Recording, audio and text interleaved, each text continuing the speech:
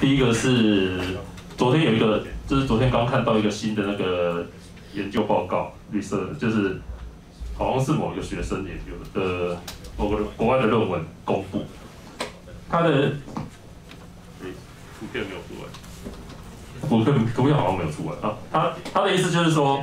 有个研研究结果是，如果我告诉你 Firefox 很快，你就会觉得 Firefox 真的很快。所以就是我现在就跟跟大家讲 Firefox 很快，大家今天要试试看。对，这是一个心理学的研究，然后是就是有 publish 的。对，就是来源就是这篇 paper。对，the browser is lightning fast。如果你在 message content 有跟大家讲，就是他们找了。我记得是一千个人吧，然后分三组，然后有一组是看了一篇，给他使用 Firefox 之前先看了一篇，就是 Firefox 速度很快的的报然后有一组是看了，就是另外两组是讲对照组的对，然后看了那个 Firefox 很快的报道文章的那一组，就真的觉得 Firefox 很快，比 Chrome 快，对，就是就是很好笑，不是重点，哎，跑到哪去？好多分页。哦，对，对对对，好。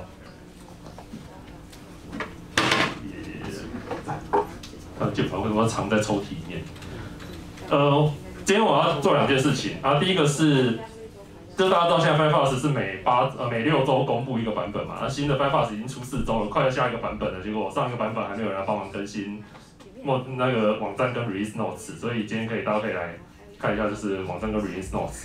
如果你要下载 Firefox，就到这个网站，那下面有个 Release，下面有个最新消息。